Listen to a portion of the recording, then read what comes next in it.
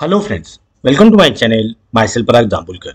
In last videos, we have seen how to implement selection structure or conditional statements in Apex programming language.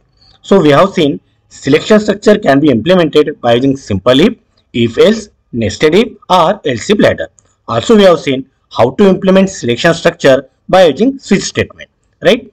In this video, we will see how to implement loop structure.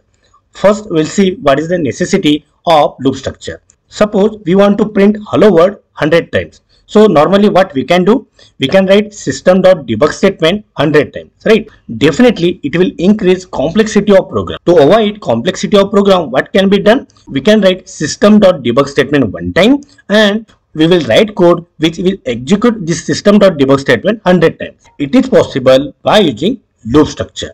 Now look at this flowchart. Here we have condition. If condition is true, then we are executing this statement. Again, we are checking condition. Again, if condition is true, again we are executing the statement like this. This is called as loop. One iteration, second iteration, third iteration like this. And this loop runs until this condition is false. This is how loop structure is implemented. In Apex programming language, loop structure is implemented by using for, while and do while. Now see, what is the syntax for this? All the loop structure in Apex programming language, they have three important components. Initialization, condition, increment or decrement. In initialization, we are initializing looping variable. Then we have one condition. That condition will check and then we are incrementing or decrementing looping variable. Initialization is done only once while condition is checked in every iteration. Also increment and decrement is done in every iteration. Now we'll see syntax of for. Now see that I have told there are three major components, right? Initialization, condition, increment or decrement. And these are the set of statements. Initialization, condition, increment or decrement, these are separated by semicolon. This is a part of syntax. Initialization is done in the beginning and it is done only once. Condition is also checked in the beginning of the loop and increment and decrement is done at the end of this loop. See, initialization is done in the beginning and it is done only once. Condition is checked in every iteration just before this block and increment and decrement is done in every iteration at the end of this block. So see, condition is checked in the beginning of this block, increment or decrement is done at the end of this block.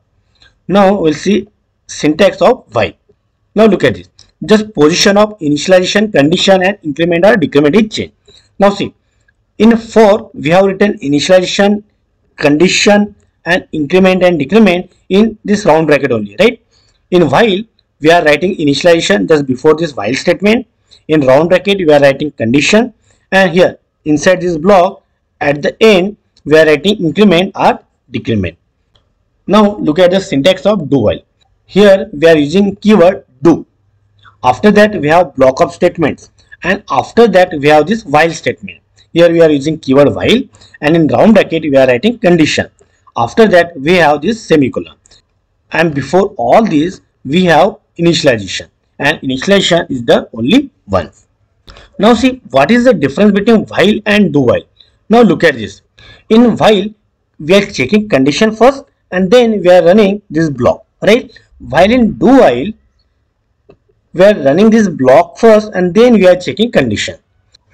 In while, if this condition is false, then this loop will run 0 times, right? It will not run single time. But in do while, if this condition is false, still this loop will run single time, right? In while, this loop will run for 0 or more time, while in do while, loop will run at least one time, right? Now we'll see how to write code in Apex. Here I have opened this developer console and also I have opened this anonymous window. We will take example to print square of 0 to 4. Now see how it can be done using for, while and do while. Now look at this. For, then there are three parts, right? And it is separated by two semicolon, right? First part is initialization. So we'll take one variable integer i is equal to 0, right? We are defining one variable i, we are initializing with 0 now see, second part is condition. So here we will mention i less than 5. Now see, why i less than 5? Because we want to run this loop 5 times, right? 0 to 4. These are 5 numbers. That's why here I have taken i less than 5. Then i plus plus. So here I am incrementing value of i by 1. After that we have these statements, right? We have block of statements. Here we'll write some statement. So system dot debug. Here we are writing this string square of then plus. Plus is for the concatenation. Then i. i means this number 0 to 4. Then is equal to. Then here we are calculating square of i. Right? Now see. We'll run this. Debug only. So here you can see square of 0 0 square of 1 1 square of 2 4 square of 3 9 square of 4 is equal to 16 right so in this way we have printed square of 0 to 4 by using this for loop. Now suppose if we want to run this loop for infinite times so how we can do? We'll put one condition which will be true for every iteration. Now see i am adding one condition i greater than minus 1 now see this condition will be true for each iteration right? We'll run this. Now see so this loop is running for infinite time right? Let us see what will happen here we got one exception. See apex cpu time limit exceeded. And this loop was running for infinite time. We got this error right? Now see we'll make it i less than 5 now we'll see how to write same code by using while so see what is the syntax? First is initialization right? So this will take. So this is initialization. Then we have while right while statement in round bracket we have to put condition. So this condition here we'll put then in curly bracket we have this statement right? So this statement we will put there. And inside this block at the end we have this increment or decrement right? So here we have increment. Also we can put decrement. So see here we are putting this increment. So look at this. Here we have initialization then here is condition. And here increment or decrement. So increment or decrement that should be the last statement in this block. And before that we have some statements right? Now see we'll run our code. Debug only. So see here we got this output right? Now see, again we'll go to our anonymous window. Now same thing we'll do it by using do while. Let us see. For do while we'll copy this see this while statement should be here. At the end then semicolon. And here we have to use one keyword do. So in this way we can write do while. Now see we'll run our code. Debug only. And here we got this output right?